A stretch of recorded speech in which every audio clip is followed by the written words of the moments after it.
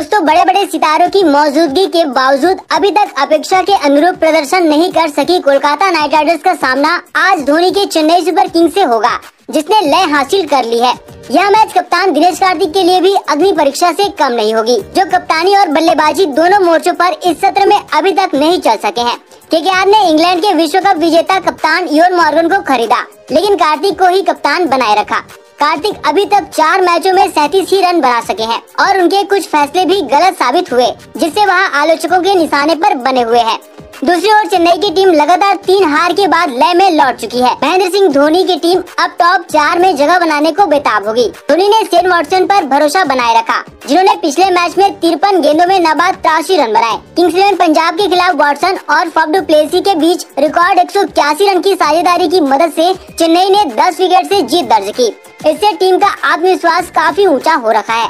दोस्तों, बात करें पिच के मिजाज की तो आबू धाबी के शेख जायद स्टेडियम की पिच बल्लेबाजी के लिए मुफीद है। यहाँ स्पिनर्स को भी मदद मिलती है। अगर पिछले रिकॉर्ड्स की बात करें तो यहाँ एवरेज इनिंग स्कोर एक सौ अड़सठ है। मतलब साफ़ है कि यहाँ दोनों टीमों के बीच हाई स्कोरिंग मैच होने की उम्मीद है।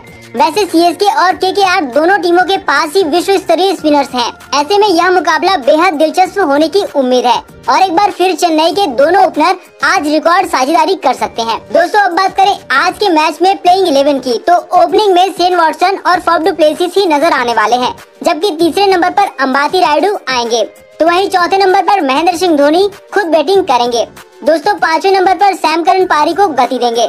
जबकि छठवें नंबर पर केदार जाधव और ड्वेन राव आठवें नंबर पर आएँगे।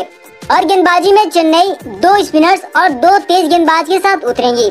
रविंद्र जडेजा और पीयूष चावला स्पिन की ज़िम्मेदारी संभालेंगे, जबकि दीपक चाहर और शार्दुल ठाकुर तेज गेंदबाजी की भूमिका निभाएँगे। बात करें कोलकाता की तो शुभमन गिल और सुनील नारायण एक बार फिर पारी की शुरुआत करते नज़र आ सकते हैं। और तीसरे नंबर पर नीतीश राणा, जबकि मिडिल ऑर्डर में Dinesh Karthik, Eoin Morgan, Andre Russell और राहुल त्रिपाठी टीम को संभालेंगे। तो वही गेंदबाजी में पैट कमिंस, कमलेश नागर कोटी शिवम मावी और वरुण चक्रवर्ती के कंधे पर चेन्नई को रोकने की ज़िम्मेदारी होगी। तो दोस्तों, आप हमें लाइक और कमेंट करके बताएँ, आज कौन सी टीम मैच जीतेगी?